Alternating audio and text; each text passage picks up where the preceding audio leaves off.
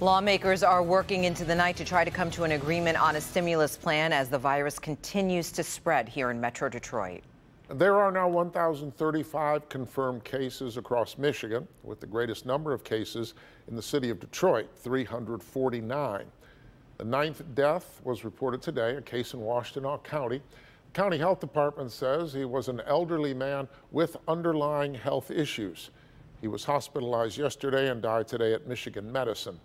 There has been one death in Washtenaw, Oakland, Macomb, and Kent counties, five in Wayne County. There are other big developments today in the state. A Wayne State student in the Anthony Wayne Drive apartments has tested positive for the virus.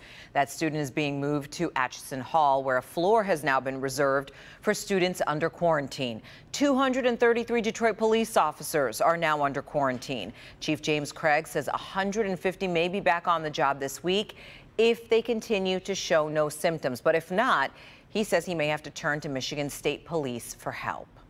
Today, Ohio's governor ordered a shelter in place. That means everyone except essential workers should stay home, with the exception of trips to the doctor or to the grocery store. Priya Mann is live downtown. And Priya, today Governor Whitmer was asked about whether she'll do this in Michigan. Yeah, she made the rounds on national media on Sunday, talking about her frustrations with the federal government, the need for more tests, and the options her team is still considering that could affect every single Michigander. With more than a thousand coronavirus cases in Michigan, Governor Whitmer defended her decision not to enact shelter in place orders similar to other states, including Ohio. My team is meeting 24 uh, 7. Trust me, we are, we are continually trying to determine what we need to do to keep people safe and to keep our healthcare system from being overwhelmed. Over the weekend, a Wayne State student tested positive for COVID 19 and was quarantined on campus. Washtenaw County reported its first death. And Detroit Police Chief James Craig said Saturday night six officers and a sergeant had contact with a suspect confirmed to have coronavirus. They, along with more than 200 Detroit cops, are now under quarantine waiting to be tested. Medical experts, including our Dr. Frank McGeorge, expect the numbers to rise. The steep upward trajectory in positive cases has more to do with the reality that labs across the state are still processing a backlog of tests. We haven't peaked or even leveled off in new cases, and this daily increase that we're seeing really reflects that we are still catching up with the real numbers in our state.